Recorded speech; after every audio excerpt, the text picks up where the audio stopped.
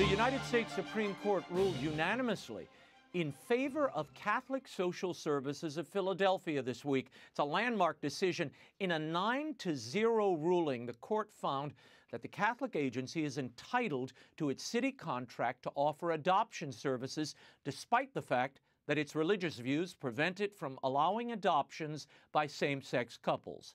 Chief Justice John Roberts, in his written opinion, said that because the city allows exceptions to its policies by other agencies, it also must offer the same consideration in this case. According to Roberts, Catholic Charities, quote, seeks only an accommodation that will allow it to continue serving the children in Philadelphia in a manner consistent with its religious beliefs. It does not seek to impose those beliefs on anyone else.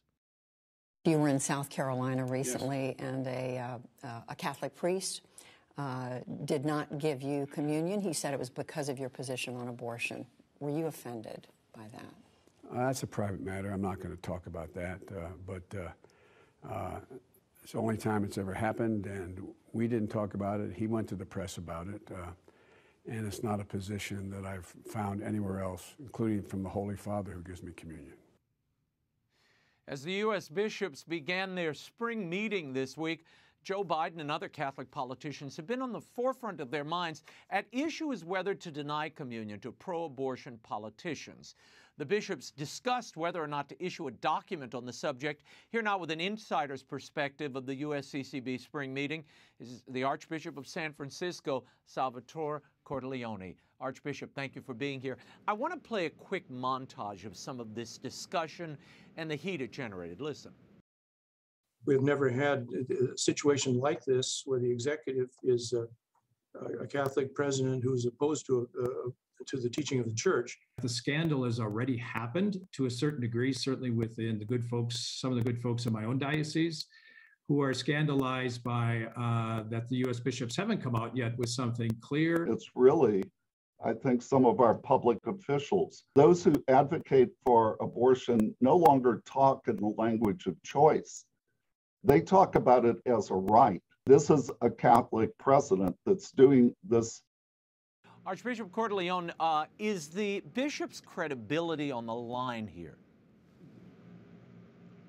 I believe it is. I, that's what I stated in my own intervention. Uh, uh, as I said, we're uh, all eyes are on us right now. The whole country is looking at us. Are we going to be able to issue a document that is going to very clearly and convincingly uh, uh, present the church's teaching on Eucharistic consistency?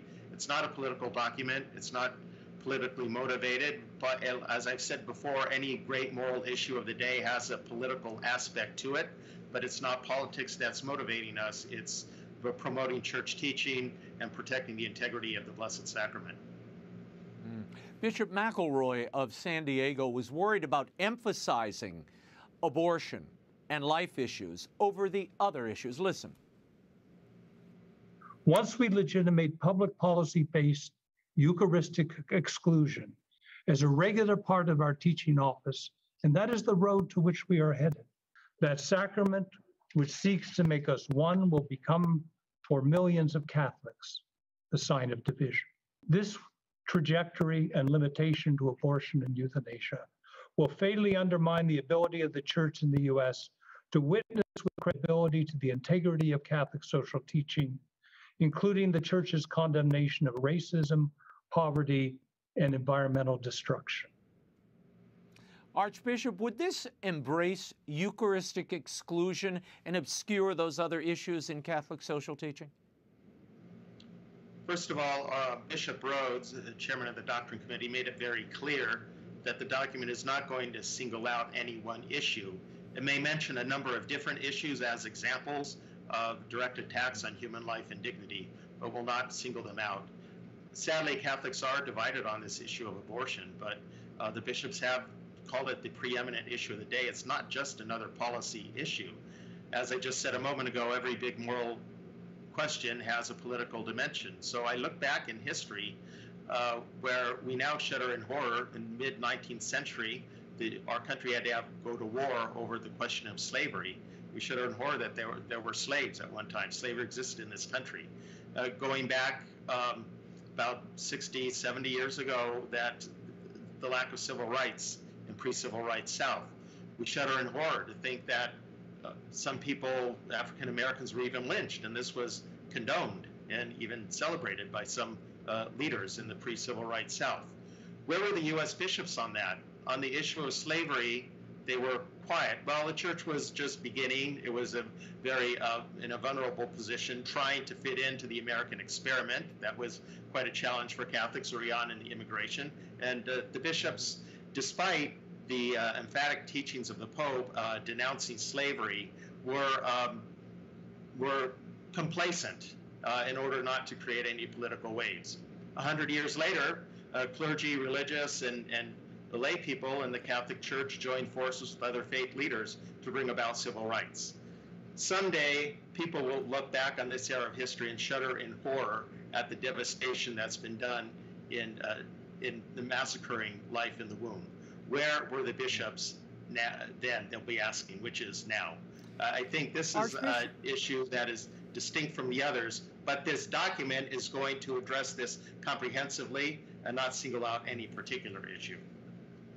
There seemed to be a lot of concern, Archbishop, about the section on Eucharistic consistency that's being proposed here, listing types of Catholic who might be running afoul of church teaching and therefore not worthy to receive communion. Listen to some of those concerns.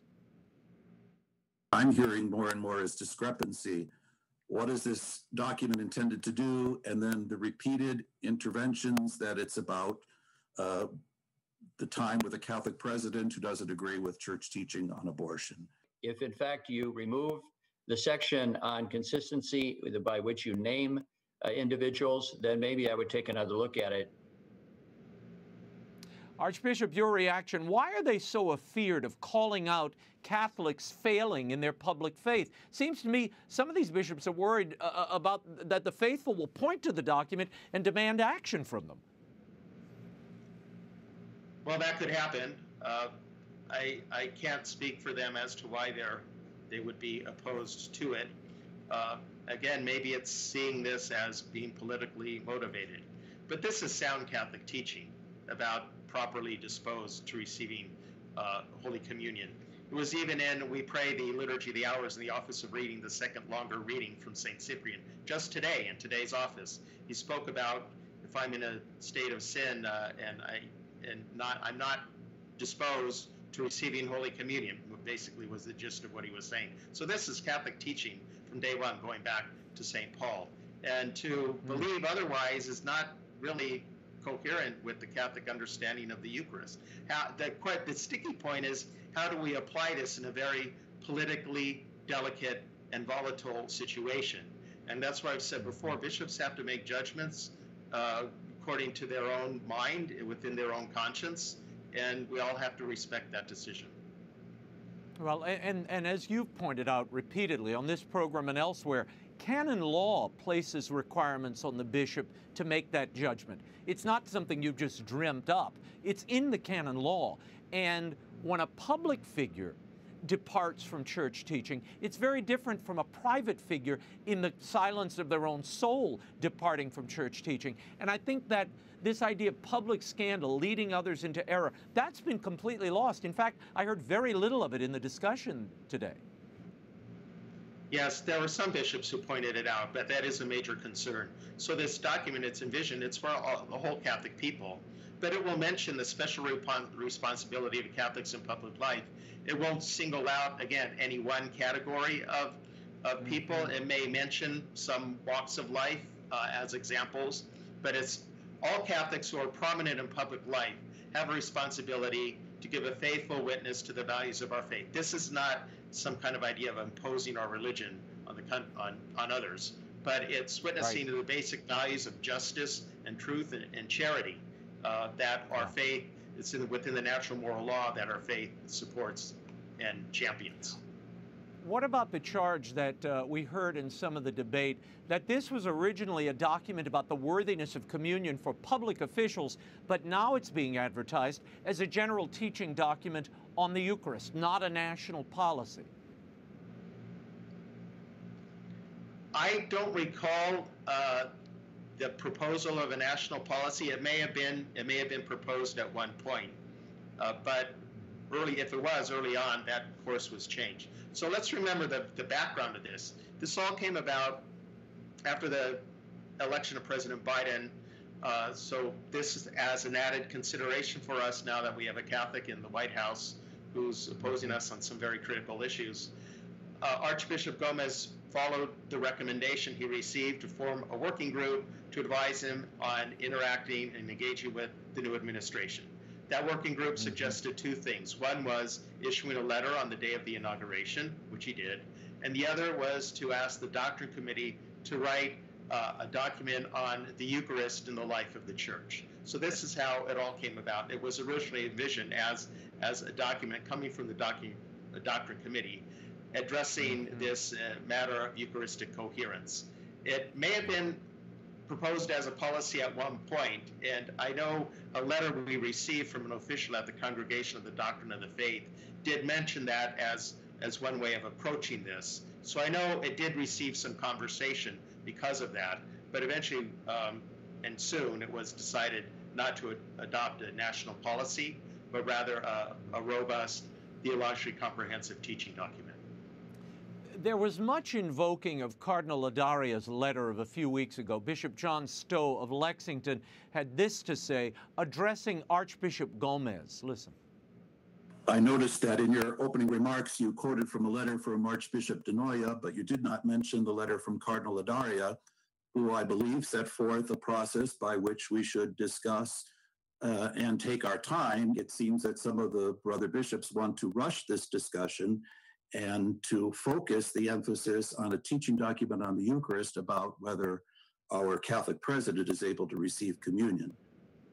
It should be said that Cardinal Ladaria, the prefect of the Congregation for the Doctrine of the Faith, in his letter does not say the bishop shouldn't vote on proceeding with a draft document. Your reaction, Archbishop? Indeed, he doesn't. He gives us additional advice uh, in terms of forming a national policy, but again, we're not doing that. But at the start of the letter, he cites the letter that uh, Cardinal Ratzinger sent to the U.S. bishops in 2004 that then we didn't know about because the then Cardinal McCarrick, he gave the letter to him. It was written for the bishops, a private letter to all the bishops, but he withheld it, so we didn't know about it. Cardinal Ladaria, now we, we have the letter available. He cites that letter and says to use the, the principles in this letter in drafting our own document on Eucharistic coherence. And Cardinal Ratzinger is very clear, very reasonable, pastorally sound what to do about dialogues with these public officials have to take place to try to move them to a conversion of heart. And if after many attempts it, it becomes clear that this is fruitless, then they have to be declared not to be admitted to communion. He makes that very clear. He also specific, specifically cites the issues of abortion and euthanasia. It's not exclusive of that, but he cites them as particularly grave issues. Yeah. There was a motion early on to extend this debate uh, over this, uh, whether the, the doctrine committee should continue with a document or be permitted to write a document. 59% of the bishops opposed that, and it was uh, Archbishop Naumann depicted that as a delay tactic. All of this feels uh, like some are determined to slow walk any teaching on this topic of Eucharistic credibility and, and uh, worthiness of, of receiving communion. I, I, reading and listening to some of this debate, you feel they'd like it to end in 2025 or sometime afterward. Is that the sense you had listening to this, that people want to slow walk this so they don't have to deal with the uncomfortable conversations with public officials who happen to be Catholic and depart from Catholic teaching? I do sense a lot of nervousness over this. It is very unpleasant. None of us, and uh, those of us advocating going forward with this document, um, this isn't a pleasant thing for us. Uh, but yeah. we don't, deciding to do the right thing very often is not pleasant. But I think there's there's a lot of nervousness and what the con- potential consequences could be, um, what the political fallout could be. There's there it's a very complex matter, but we need to do the right thing, uh, regardless, in a, a, charitable way, with humility, as Bishop Daly said, with humility and and uh, compassion and, tr- in, the truth. But we have to be very clear and courageous. So That's why I uttered the message that St. John Paul constantly reminded us of the biblical injunction be not afraid. Yeah. We must not be ruled Yeah. by fear, we must be ruled by what is the right thing to do in the circumstances in which we find ourselves now. And in any event, we won't get a document until, until November. And, and, Archbishop, we have to be very clear, just so the viewers understand. No matter what this statement says, and it's going to be a teaching document, it really is up to every individual bishop in his diocese to judge the situation of these public figures and whether they should be denied communion or not. Exactly, and that's why I see it as a resource for bishops. It will be very theologically robust and comprehensive. It envisions explaining, that it won't be a disciplinary document, but it will explain the theology underlying the church's discipline. Hmm. So it's a great reference for a bishop to use, a resource in guiding his own thinking and discernment on how to promote church teaching and apply church discipline within the context of his own diocese. Yeah, and I know you all are having a larger conversation about a Eucharistic revival, but you can't have a Eucharistic revival if there's no public demonstration and example of what the sacredness of the Eucharist looks like in practice. And right now, that's clearly being violated in many, many quarters. So it's a worthy uh, topic, and certainly I don't know what could be more worthy of the bishop's time. I, I want to get your reaction before we expire here uh, to the U.S. Courts, Supreme Court's unanimous decision today, ruling in favor of Catholic Social Services in Philadelphia, allowing them to continue to offer adoption services to heterosexual married couples only, consistent with Catholic teaching. Is this a victory for conscience, Archbishop? Absolutely. I must, I confess, I haven't had a chance to read the decision yet, but I, I know about the decision. And clearly, it is a victory for conscience. Uh, adoption agencies should be free to put children up in the homes that they think are best prepared to raise the child well. And they should not be forced to violate their conscience in this service that they're providing to the whole community without discrimination on uh, who they're serving. We will leave it there. Archbishop Salvatore Cordileone, we thank you so much for your time. And uh, I have to say, I was amused by some renowned law professors and advocate groups that uh, publicly attacked and savaged the former president. Now they're doing the victory lap, praising these legal decisions, uh, you know, and groups for the decision. Uh, but today's decision, whatever your reaction to it, is clearly the fruit of the Supreme Court justices appointed by the last president. Uh, Archbishop Cordileone, thank you for your time. You're welcome.